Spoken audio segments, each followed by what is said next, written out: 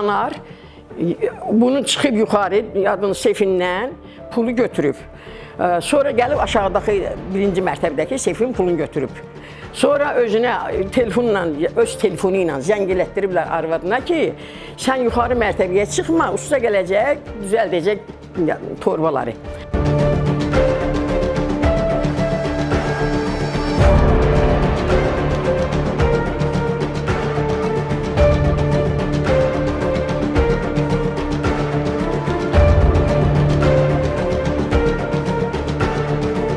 Saat 11-ə işləmiş mənə mesaj gəldi ki, ustalarla anar evə daxil olacaq, liftlə gələcək, yuxarı mərtəbəyə qalxma, 5-ci mərtəbəyə. Mən də yazdım, yaxşı qalxmarıq.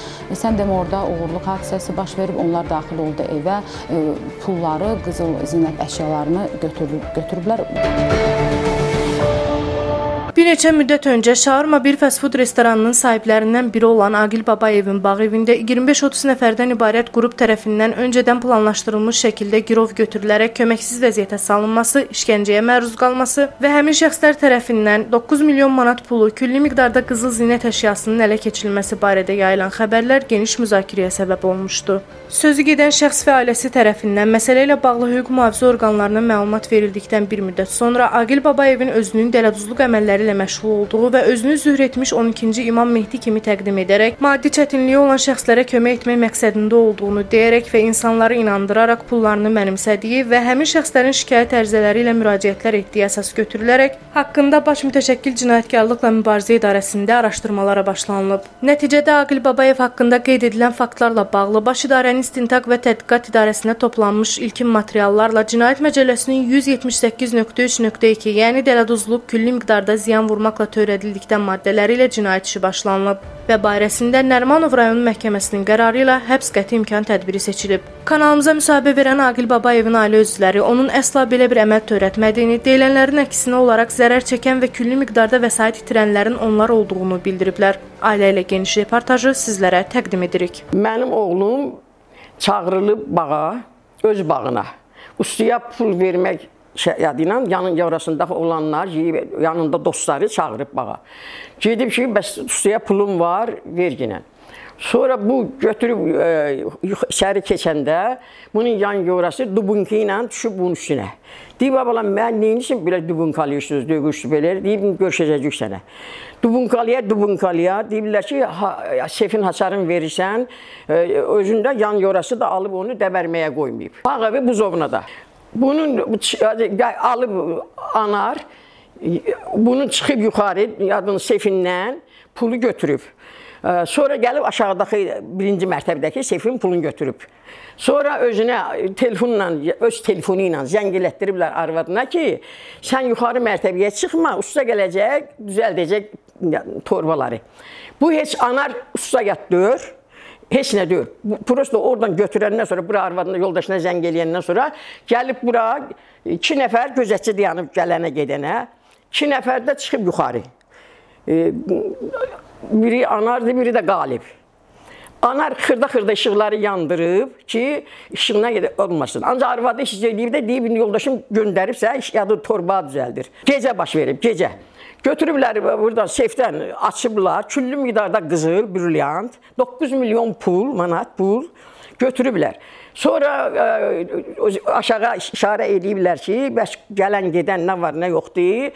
Onlar da deyiblər yoxdur. Düşüb aşağı. Anar elə bu uşaqların içində olan bir güya istəkli uşaqların biri də əvvəldən hamısı istəkli olub. Bu 20 ildən çoxdur ki, toyları ondan sonra yüzürləri, ondan sonra bütün ad günləri hamısı bir yerdə. Mənim oğlumun şəriki Natiqdir. Natiqdən təxminən bir 20 ildən də çoxdur bəlkə buna şərikdir.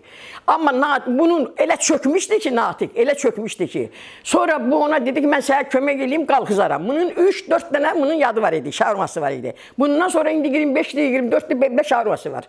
Çalan yaxşı gəlir gəldi. Sonra bunlar gördü ki, bunun belə gəliri gəldi. O, bu dedi ki, 10 min dollar sənə 10 milyon dollar sənə pul verirəm. Sən məndən əl çəkinə, mənə işləmə.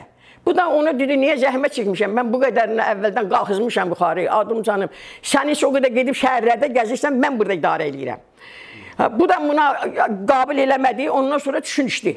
Düşünüşlü axırında yığdı başına bu qədər uşaqları yavaş-yavaş nətər eləmək lazımdır. Bunun dokumentləri necə? Bunun öydə bir qəpik qoymamaq şərti ilə bir iki dənə şey nəsə belə atıb ora, belə qalan nə qədər brilliantı, qızılı, 9 min 9 milyon pulu bağda da nə qədər olubsa da oradan da onu götürüb. Buradan da 9 milyon götürüb. Götürüb sonra da düşüb aşağı 2 dənə ağ maşınla qara maşını var idi aşağıda. Onlar da çünki bunlar o qədər o pişirlənmişdilər ki, biz o qədər yaxın qardaşıq. Hər şeyi öz adlarına aldırmışlar. Ha, onlar bu doğum başında dedim neyi yiyecek? Maşınlar da bizim adımıza, ev de bizim adımıza. Maşının ikisini de götürdüler, apardılar. Birin qara maşını satıblar, ağ maşını da hal-hazırda anar sürür. Maşını qardaşlar dedi, evi bizim adımıza al, bunu bizim adımıza al. Bu da inanıb da qardaşlar da alıb. O qədər inan var idi ki ona. Bunlar o qədər inandılar. Bunlar demək hər şeyi əldə etmək üçün əvvəldən qurğu qurmuşlar. Bu bir ildən bəri lap dəhşət qurğu qurdular ki, planlaşdırdılar. Bunu necə əlindən heç niyə götürməmək şərti ilə bu dokumentlərlə iş görmək lazımdır. Araqistan dokument də yoxdur. Hamısını götürüb apardılar. Yaxşı bu qaldı belə. Sən indi buna deyirsən, deyirlər ki, sən hər şeydən imtina elə. Mən də dedim ay bala, elə də heç nə qalıb quru çörək yeyək. İmtina elə. Dedim mən nə ilə iş görüm, uşağımı, böyüyümü nə ilə saxlayım? Heç olmasa nəyi deməyə qaytarsınlar. Evi də alıblar, hamısını alıblar. Demək iki dənə bağ evi, biri bizim ailəvi hamımızın da adınadır, biri də onların ailəvi adınadır. Birini Ceyhunun adına özləri durub yanında aldırıb, birindəki Eminin adını aldırıb. Dostları da yanında qardaş dedikləri adam, yeyib içdikləri adam. Bu gəldin ki, bu bu qədər şeyi alandan sonra bunu ora e, maddəni o tərəfdə olduğunu götürüb belə dələduzluq maddi ilə saldırdılar bir tərəfə, olar. Çünki bunun pulları hamısı bundadır. Milyonlarla pulu tökmək bilirsən nə sat nədir? Töküb hamısını alıblar Azərbaycana satın. Anar deyir ki, Pul mənim cibimdədir. Hökumət də mənim cibimdir. Onlar polis də mənim cibimdir. Onların yaxınlıqları demək olar ki, bu uzun müddət bu şəhər moda işləyəndən sonra sonra da gördü ki, dedi tikintiyə də başlayacağam. Sonra e, demək olar ki, Zauri, Zauri dedi ki, gəl yenə əvvəl 4 mərtəbə tikək. Səni pralav kimi ora mən qoyum. İşləginə, lahəqət, lahənin üzündə işləginə. Bu adamın heç nədən başı çıxmırdı. Prosto qoydurdu, reşkə girdi, qoydurdu. 3-4 mərtəbələr tikdirdi kalan. 4 mərtəbədən sonra biraz mərtəbələr artdı, mərtəbələr artdı. İndi hal-hazırda o da deyir mənim, mənim şərikim deyir. Zahir da deyir ki, mənim yanımda yorumda yoxdur. Bu qabilə bağlayan o, mən natiq məsəlçi bu pulu verirdi ki, bu qədər borcu, bu qədər borcdursa, e, kimiz bir evdə şərik hüquqlə sən gəl apar ödə. Ya məsəl üçün zar gedirdi, hər yana tanınırdı. Bu şarma elə çökmüşdü ki, bütün fəhlələr adamın adına gəlir, yəni orada işləyənlər. Bunun türkü məsələ 3-4 dənə, 5-6 dənə var idisə, onun da pulunu ödəyə bilmirdi. Bu vəziyyətə qoymuşlar onu. O, ondan sonra o yan yorasından ki bizimkilər, bizim mənim oğlum onları e, qışqır bağırla, əsəblə hala gətirdi, düzəltdi, çoxaltdı. Pul çoxaldıqca düşman da çoxaldı. Bu aşkar elədi hər şeyin. Onların hamısı e, Allah bilsin hansı bağilərdədir, hansı yerə yadılar aşkar eləmə. Bu deyirdi ki, get bala oradan 3000 2000 pul lazımdır, gəl asarı get götür. Burada məsələn bunun da işləməyinə özü hüquqşünas deyib, stajına işləyib. Mən demirəm oradan e, nəsə əldə eləyib bir o qədər düz uşaqdır ki, məsəl üçün kimsə polisdə götürürdü, bu alıb qaytarırdı. Bu bitkə çörək pulu qazanır. Sən onun şalvarını nöş götürüb atırsan, bunu götürsən, ona görə bu davam gətirə bilmədi ki, düzlük, əqillik yoxdur. Sonra başladı ki, biraz da mənim qardaşım imkanlı idi, varlı idi. Qa qardaşım dedi, sizin vəziyyətiniz ağırdır. Bir dəfə Jiguli maşın gətirdi, qoydu yoldaşımın altına. Ev, ev, ev eşiğime her bir şey aldı. Ondan sonra buna yavaş yavaş biraz biraz biraz biraz sonra da keçdi Natiqlə ya da şərikə. Natiqi o qalxızdı. Natiq batmışdı. Əcdə gəlib məndən o dünyada torpaq verəcəklər. Bu dövlətin yanı ki bu qədərinə bu şeyə inamı var ki, bu gedib dünyadan o da torpaq ölçür verir. Bu qədər naxaq olar ay bala. Bu qədər naxaq olar, bu uydururlar bu şeyləri ki, bu o torpaq belə şey hökumət necə inanır? İnanılı şey deyir axı bu torpaq o dünyada verərlər. Gül Gülür müstəntiq gülür ki, elə şey olur, gedir orada torpaq hektarla sərə verir. Ömrü boyu bunlar həmişə gəlib bundan pul istəyiblər, həmişə də bundan alıblar. Ömür boyu mənim oğlumun heç kimə borcu olmayıb. Mən bir ana kimi deyirəm. Mən bir ana kimi deyirəm, heç kimə bir qəpik borcu olmur. O deyir 2, 2 milyon borcu var. Bu deyir getdim mən orada mən puldan 2 milyon götürdüm. Ömrü boyu bunlar gəlib bunu ağız açıb. Çünki bunun əlində tikinti tik onu da olub da Şarmada da olub da Şarmanın həmin şəriki ömrü boyu xaricilərdə fırlanıb dolanıb gəzib. Mən oğlum idarə eləyib bunları. Mömin sözü deyirlər ha. Qətiyyən uydurmadı. Hamısı gəlsin, evin hamısı gəlsin. Bir dənə adam ona sayəqli ola bilər? Yox. Hamısı gəlsin. Bu mömin sözü ömrü boyumun ağzından ömrü boyu çıxmayıb ki, mən buam. Özlərindən uydurublar. Öz qurğunu artırırlar. Bütün vicdansızlığa əl atırlar ki, iminli bu oradan çıxmasın qırağa. Maddəyə də artırıb Oradan götürdülər, atdılar o tərəfə. Güc çatmır, məktublar gedir, nə qədərə paketlər gəlir, o gəlir, bu gəlir ki, almışam. Amma əməl eləyən yoxdur. Bir dənə əməl yox, eləyən yoxdur. Özü də ki, bunlar nə qədər nə böyütanlar ki, deyirlər, e, deyirlər, nə bilim, söz, bax siz özünüz onun əqəmləri peyğəmbərdirsə, peyğəmbər oynayır, peyğəmbər cəmaatla bir yerdə toyda tam oynayır da bax, həmin o uşaqlara baxın. Hamısı onun başında oynayır. Oynayırlar da rəqs eləyirlər. Bu adam piano çalır. Bu adam qarman çalır. Bu adam sinizatör çalır. Bu adam şənliklərdə gülür, danışır. Bir dənə içki içmir də. Vəssalam, şənliklərin hamısını da idarə edir. Evdə ad günlərimizə onlar da gəlirdi. Onlar da gəlirdi. Bizim ad günlərimizdə hamısı oturub. Onların da ad günlərində biz hamımız oturmuşuq. Bu qurğu qurdular ki, imindi bu qabağa gedir, bunu yıxaq. Vəssalam, bunun bunların hamısının qurğusu, bilmirəm başda kimdir bunları hazırlayan. Bu şeyləri bunların heç hünəri də yoxdur hazırlamağa. Bunların içinə girən olub, hazırlatdan olub. Kim hazırlayıb bilmək olmur. Bilmək olmur. Allah bilir, özləri bilir. Mənim bütün Azərbaycan xalqına, Azərbaycanın rəhbəri İlham Əliyevə, xanımı Mehribana, Baş əyib ana kimi yalvarıram. Bu işə düzgün baxılsın. Bütün Azərbaycan xalqına ana kimi müraciət eləyirəm. Sizin də başınıza belə bir iş gələ bilər. Dost tərəfindən bu əlinizdə pul ola bilər, çox ola bilər. Onu gözü götürməyən dost, dostlarınız ola bilər. Xahiş edirəm sizdən, hamınız bir qalxıb bir anıya yardım eləyəsiniz. Nahaq yerə mənim balamı, nahaq yerə heç kim, heç yan baxmır şikayətə. Baxmır, yalandan hə hə eləyib özümüzü təqsirkar özümüzü təqsirkar qayıb qaytarırlar geri. Özümüzə qol çəkdirirlər ki, mən bu çıxışı eləməyəcəm, mən bunu deməyəcəm. Mən müraciət edirəm ki, mən istəyirəm ki, rəhbərim bilsin bunu. Amma məni tutub aparırlar, qol çək bura ki, mən çevriliş eləyirəm. Mən niyə görə mənim qəhrəman xalqımın rəhbəri Heydər Əliyev, İlham Əliyevə mən çevriliş eləməliyəm? Çünki o boyda Ermənistanı aldı. O boyda xalqa e, köməklik eləyir. Niyə görə mən o şey, mən ona müraciət eləməyə getmişəm ki, hörmətli prezidentimiz Azərbaycandan nahaq baş alıb gedir. Boş yerə əlində bir köpük pul olanı basırlar gedir. Qoymurlar ki, insan yaşasın. Xahiş edirəm baş prezidentimizdən və millətimizdən, Azərbaycan xalqından mən mən Azərbaycan xalqından Dönə dönə, dönə dönə xahiş eləyirəm. Belə bir şeylərə köməklik eləsinlər mənə. Mənim balamın nahaq yerə qanı getməsin. Hamısından kömək eləyirəm. Bütün qüriyyətli oğlanlarımız, qızlarımız var bizim. Qalib gələn qızlarımız, oğlanlarımız var bizim. Xahiş eləyirəm. Mən aniyə kömək eləsinlər. Qoymasınlar ki, bizi bu, bu bunlar başımızı bassınlar, balamı nahaq yerə aparsınlar. Nahaq belə bu qədər dərin nahaq olmaz. Bunlar hər işə əl atırlar. Sabah görəcəksən, gəlib deyəcək ki, körpəmizi, bələyimizi götürdü apardı. Belə vicdansızlıq olmaz. Devlətimiz buna yol verməz. O deyilən sözlər var, bir dənəsi düzdür. Bax, bir dənəsi düzdür. Mən ana kimi yanıram. Yansın onların anaları. Necə məni yandırırlar. Mənim balam əgər naxələb uşaq olsa, mən heç o qədər yanmaram. Bacının qiriyyətini çəkən, ananın qiriyyətini çəkən, xalqın qiriyyətini çəkən. Mən o cür evlad dünyaya gəlməyib. Vəssalam, mən, mən nə deyə bilərəm? Mən ölürəm tay. Elə dərdlər olar, elə nahaqlar olar. Hardan gəlir quru-quru nahaqlar. Bu gəmidən alırdı, nə bilim neydən alırdı. Bunun puluna nə elib ki, falan kəsdən geçsin bu qədər pul alsın. Nə, nəyinə gerək ki, pul alsın? Bunlar hamısı uydurmadır, bunlar hamısı qurğudur. Prosta hamı bilir, televizor gəl, hamı bilir, dünya bilir ki, bu qurğudur. Qurğudur. Vəssalam işte bunların buna çıxa. Əldə eləsinlər bu ev eşiği, əldə eləsinlər maşınları, əldə eləsinlər pulu. Özü də nətər ölür ölsün də.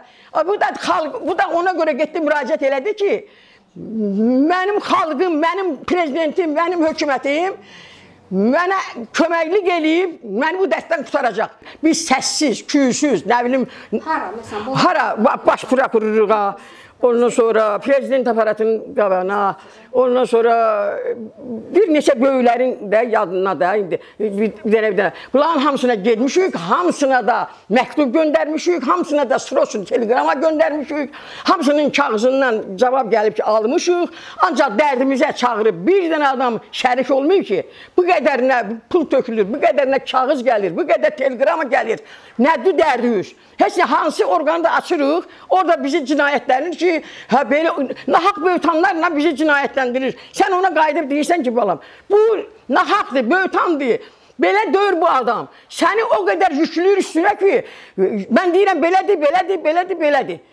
Hamısını qoyur üstünə, ağladı, ağladı, qaytarır geri. Deməli avqustun 2-si tarixində mənim yoldaşımı ə, aşağı çağırdılar. Sahib müvəkkili tərəfindən aşağı çağırıldı, həyətə düşdü və sonra onlar onu maşına mindirib baş polis orqanına dəvət etdilər. Oradan isə baş mütəşəkkil cinayətkarlıqla mübarizə idarəsinə ə, aparıldı ə, və onu orada həbs etdilər. Deməli, ə, heç bir günahı olmadan ona dələduzluq maddəsi ilə həbs qəti imkan tədbir görüldü. Yoldaşım ustaların iyunun 8-i tarixində ustaların məvacibini vermək üçün bağ evinə yollandı. Belə ki, saat ə, 11-ə işləmiş ə, mənə mesaj gəldi ki, ə, ustalarla anar evə daxil olacaq, liftlə gələcək, yuxarı mərtəbəyə qalxma, 5-ci mərtəbəyə. Mən də yazdım, yaxşı qalxmarıq. Sən demə orada oğurluq hadisəsi baş verib, onlar daxil oldu evə, pulları, qızıl zinət əşyalarını götürdü, götürüblər. Bundan mənim xəbərim olmur, çünki mən 4-cü mərtəbədə. Anar Aslanov və Qalib Rzayev evə daxil olub və bu Bu şəxslər mənim ə, yoldaşımın ə, yaxın dostları, hətta Anar Aslanov isə onun qardaş kimi hesab etdiyi bir insan idi. Ə, Yoldaşım orada 30 nəfər şəxslə qarşılaşıb, hansı ki onun ətrafının yax ətrafı, yaxınları, qardaş dost bildiyi insanlar idi. Belə ki onların orada zor tətbiq edilərək təzyiqinə məruz qalıb. Onlar onu hədələyiblər ki, barsetkanı ver, oradan açarları götürək, hətta bağ evinin açarlarını götürərək müəyyən otaqların, o otaqlarda olan müəyyən pul vəsaitlərini ələ keçiriblər. Daha sonra isə barsetkada olan e, evin açarlarını, iş otağının açarlarını əldə edib. Bəli, müəyyən bir şəxslər qeyd etdiyim kimi Anar Aslanı və Qalib Rzayev evə daxil olub həmin açarlarla gəliblər. Yoldaşınızın öz üçün də gözlənilməz oldu. Özü üçün də gözlənilməz oldu. O şokda idi. Bəli, bəli, bəli.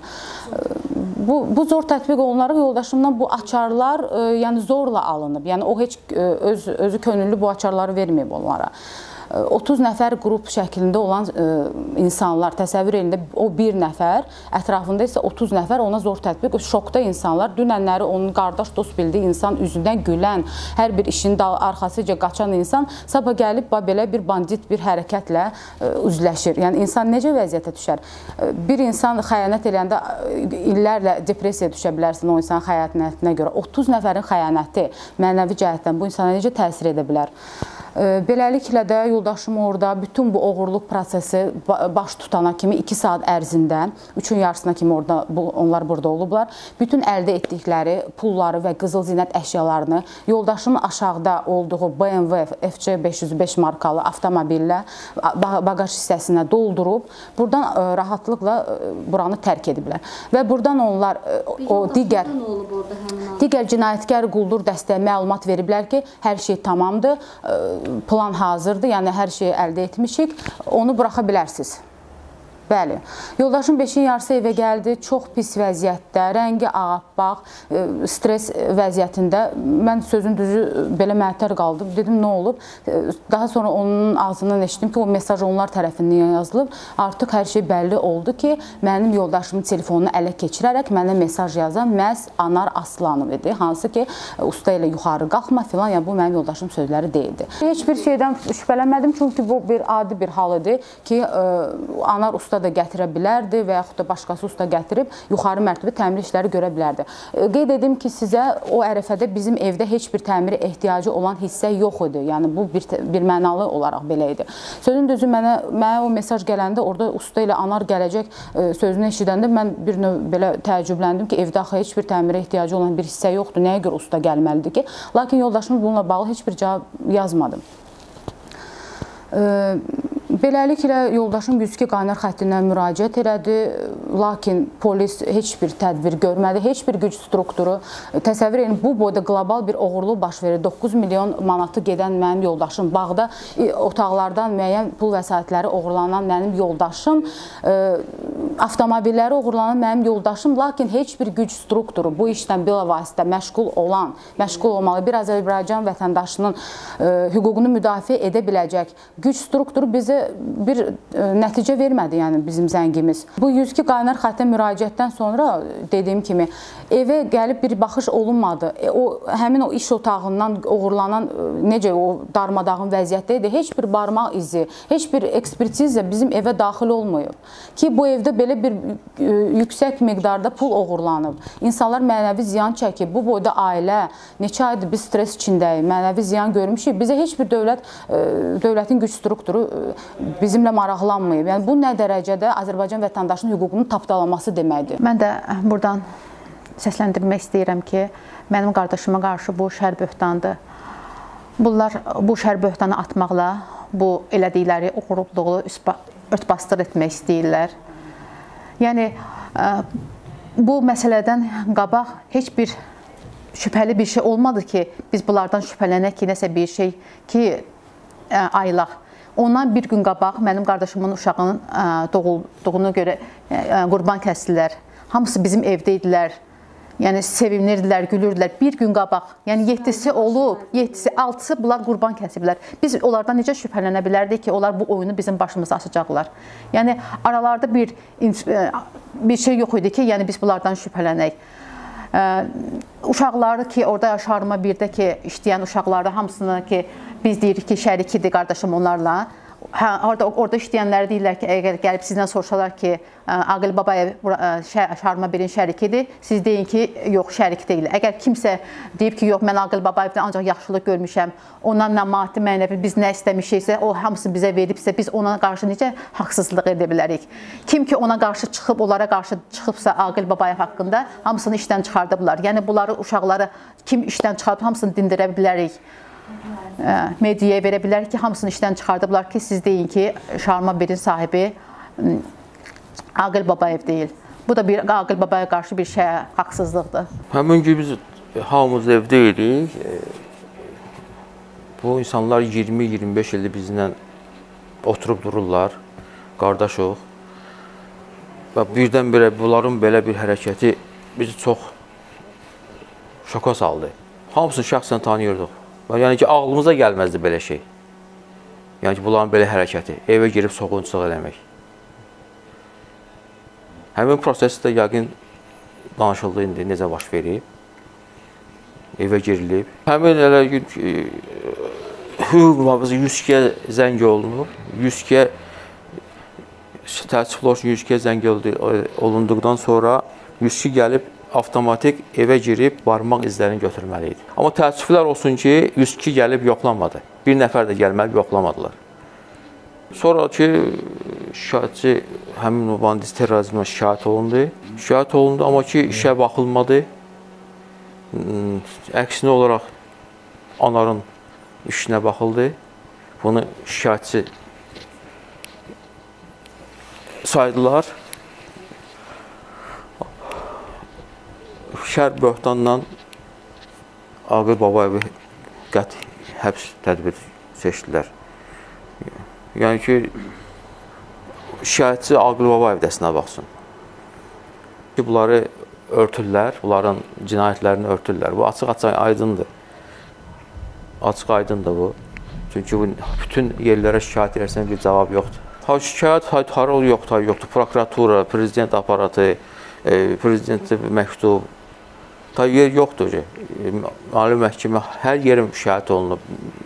Telegram şəklində, məktub şəklində hər yerə Daha qabağında da orada aksiya keçirmişik. Hər yer eləmişik. Təəssüflə iş iş bir tərəfli aparılır, təəssüf olsun. İş bir tərəfli aparılır. Aqil Babayevin şikayəti qəbul olunmur. Bunlar bir neçə nəfər olublar. Bir neçə nəfər olublar. Prosesdəki 8 ay tə təxmini prosesə görə bu plan qurulur. Dadaşım onlara çox önemli. Hətta hər şeyin açarını onlar vermişdi. Bütün əmlakları onların adına idi. Maşın onların adına idi. Bağ onların adına idi. Belə bir hərəkət indi kimi yuxu kimi gəlir bizə. Niyə belə oldu? Axı nə idi sündərdiniz? Belə bir hərəkət eləməzlər axı. Belə hal-hazırda dövlətin qarantı cənab prezidentimizdir.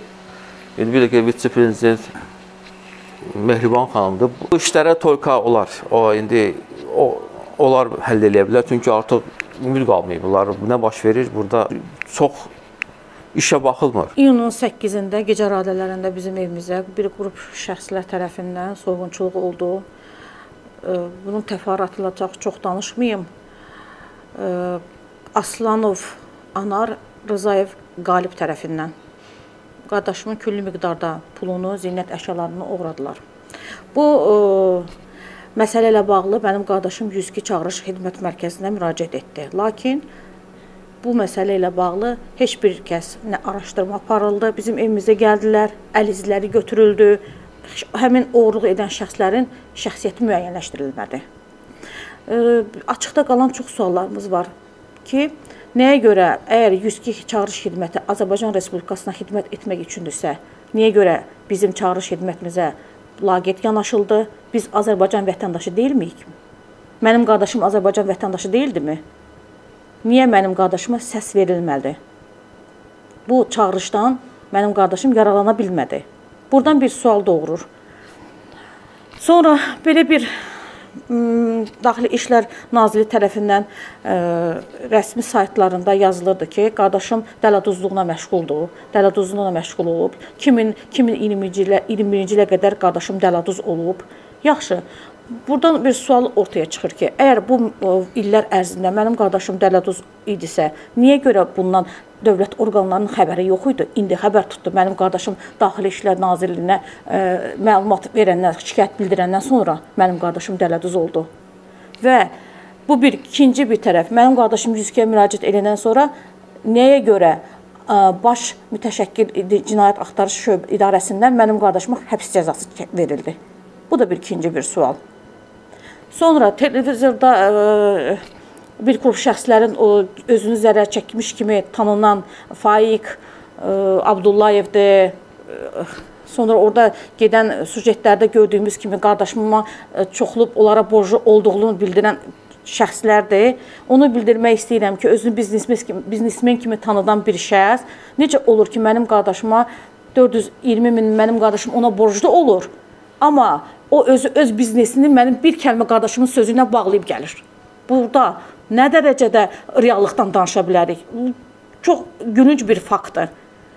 Qaldı ki 12-ci imam məsələsinə mənim bu ə, şər böhtan xarakterli daşıyan bu məsələləri mənim qardaşıma ə, həm ə, ailəmizə nüfuzunu hələl gətirir. Bu məsələlərlə adi aidiyyatı orqanlardan mən ə, xahiş edirəm ki, bu məsələdə araşdırma aparsınlar. Bu iddiayla Dələduzluqdan keçdilər imamlıq məsələsinə. Mənim qardaşım heç vaxt o söhbəti, o məsələni heç vaxt indiyə qədər ailədə də, kənar ətrafdan da eşitməmişik. Belə bir məsələnin 12-ci imam olduğunu. Mənim qardaşım müasir, sivilizovunu həyat tərzi sürən bir insan olub. Toyları, şərləri, bu zərər çəkmiş hökümün qismində özünü göstərən şəxslərin hamısının video materialları var bizdə oynamaq, çalıb çağırmaq, qardaşım özü musiqi alətlərində ifa edən bir insan olub. 12-ci imam sizcə beləmi olur? 12-ci imamın bunların tərəfindən ad verilməsi, bəlkə bunlar özləri mənim qardaşımı 12-ci imam üzü simasında görmək istəyiblər. Onu belə bir qələmə veriblər. O da ola bilər. Gözəl bir faktdır. Özləri eləyiblər bunları ki, onu 12-ci imam sifətində, simasında görsünlər. İndi qlobal formada şişirdiblər, öz arqumentlərini gətirib bizim üzərimizə şərbətdən ataraq Küllü miqdarda qırqızıl var idi, brilliant, külçə şəklində olan. Mən öz gözlərimlə görmüşəm. Arda bir mən qalxıb yuxarıda qardaşım otağını yığışdırırdım. 9 milyonu da görmüşəm ki, burada pul həqiqətən e, pul var idi. Qızılları da görmüşəm, külçə şəklində olanları da görmüşəm. Qızıl forması, yoldaşının da qırqızılları onun içərisində idi. Qızılın məbləğini bilə bilmərəm, çünki orada e, küllü miqdarda qız- qızıl var idi. Necə gözlə mən deyə bilmərəm neçə kilosu nə idi, qızıl idi, brilliant idi, külçə idi, amma top şəklində var idi bunlar.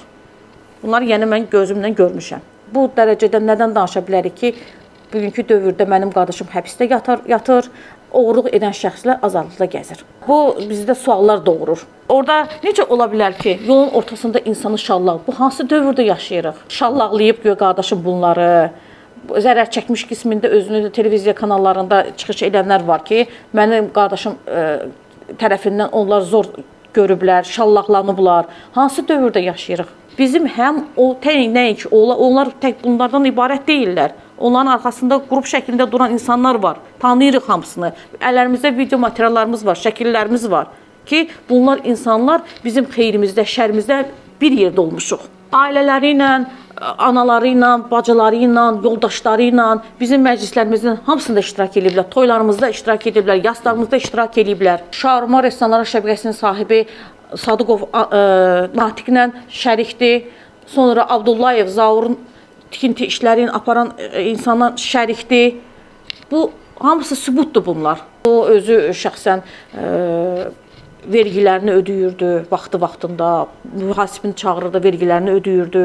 Mən bax bu şeyləri görmüşəm, yəni. Bu şeylərini deyə bilərəm. Amma onun gəliri neçə faizi mənim qardaşım idi, o mən o şey bilə bilmərəm, o incəliklərini. Mənim özüm özümün qardaşım 1-ci Qarabağ müharibə veteranıdır. Döy 1-ci Qarabağ müharibəsində döyüşüb. O həyatı görən bir insan necə ola bilər ki, qayıdıb desin ki, e, siz Qarabağdan döyüşməyin, vətən uğrunda döyüşməyin. Bu absurd bir şeydir. Yardım məsələsinə qaldı gələndə 44 günlük müharibə zamanı e, e, bu Şarma Restoran şəbəkəsi adından dövlət fonduna pul yatırılıb. 20 min pul yatırılıb. Biz bildiyimizə görə 20 min pul yatırılıb ora. Arxasında da böyük-böyük adamlar durur. Tək bunlar özləri bunları eləmək nüfusuna qadir deyillər. Bunların arxasında e, kimin necə durduğu göz qabağındadır. Bizim haqq səsimiz batırılır. Necə olur ki, biz haqlı ola-ola bizim heç bir aidiyyəti qurumlar işimizə baxıl baxmırlar. Buradan bəlli olur ki, onların arxasında duran adamlar var. Bu məsələ ilə bağlı bütün orqanlara müraciət edirəm. Kim ki bu məsələ ilə bağlı ə, əl kömək əlini uzada bilərsə, bütün qurumlardan kömək istəyirik. O cümlədən Dövlət Təhlükəsizlik Xidmətindən ə, yardım istəyirik. Ona görə ki, mənim qardaşıma da, dil, ə, orada demişdilər ki, dini icma dini qurum yaradıb. Bu dini icma dini qurum yaradıbsa, nəyə görə bunlara polis işçiləri, daxili ə, Daxili İşlər Naziri məşğul olmalıdır. Bununla Dövlət Təhlükəsizlik Xidməti var. O səlahiyyətlər onlara verilməlidir. Üzümü tuturam prezidentimizə, xanımımıza. Bu işdən özləri e, e, necə deyirlər, e, özünü nəzarəti altına götürsün.